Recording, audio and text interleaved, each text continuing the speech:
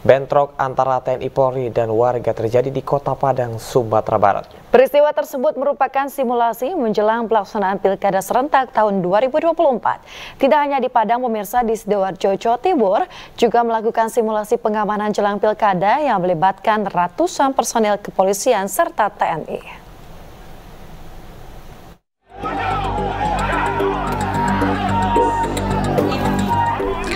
Simulasi pengamanan pilkada menunjukkan saat situasi proses pilkada berlangsung, di mana petugas melakukan pengamanan di gudang logistik KPU dan mengantisipasi kerusuhan. Selain itu juga mengupayakan masa yang mulai anarkis dapat dikendalikan hingga situasi kembali kondusif.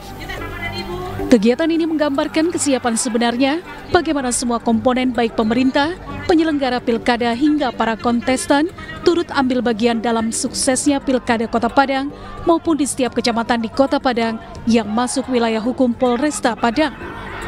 Dalam simulasi tersebut ditampilkan aksi kontingensi anarkis, selain itu para pasukan yang mengikuti simulasi juga bisa diterjunkan ketika ada ancaman teror dan sejenisnya.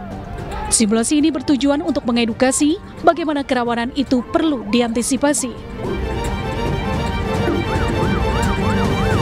Simulasi Sispam Kota, di mana kita bersinergi. Di sini ada Kodim 0312, ada Satpol PP, ada dari Polresta Padang, ada dari mitra-mitra Polri yang bersama-sama ya kita untuk mensimulasikan untuk kegiatan tahapan pengamanan pilkada di Kota Padang. Tadi ada simulasi bagaimana ada saat damai, saat tenang, bagaimana saat uh, ada ricu, ya. Kita tunjukkan di situ menunjukkan kesiapan.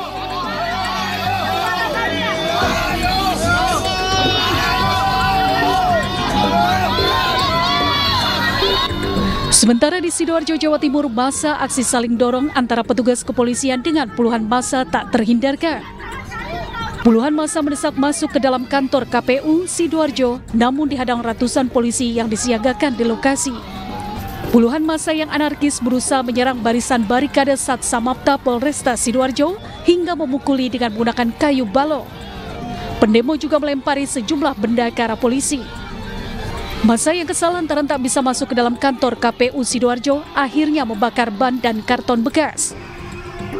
Demo berakhir ricu ini merupakan simulasi sistem pengamanan kota atau Sispam Kota yang digelar oleh Polresta Sidoarjo di depan kantor KPUD Sidoarjo. Kesiapan pengamanan pemilu kada. Jadi tahap-tahapannya apa saja yang dilalui sehingga kita mempunyai kesiapan pada saat pemilu kada.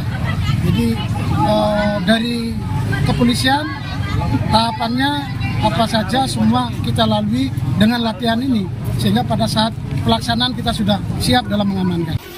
Simulasi Sispam Kota melibatkan sejumlah mahasiswa sengaja digelar untuk mengantisipasi potensi kerawanan pilkada serentak pada 27 November mendatang.